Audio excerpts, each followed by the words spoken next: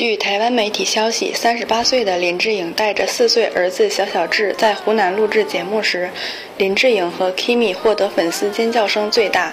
可爱的 Kimi 超吸睛，林志颖也被公认是最棒的爸爸，最会跟儿子沟通。就算节目中抽到最差的房间，也会很快转移儿子注意力。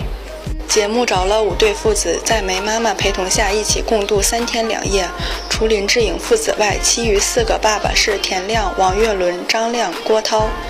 李湘与王岳伦的女儿王诗龄与 Kimi 因节目结为好友。昨日，王诗龄还偷偷亲了 Kimi 的小脸，两个小孩抱在一起，超可爱。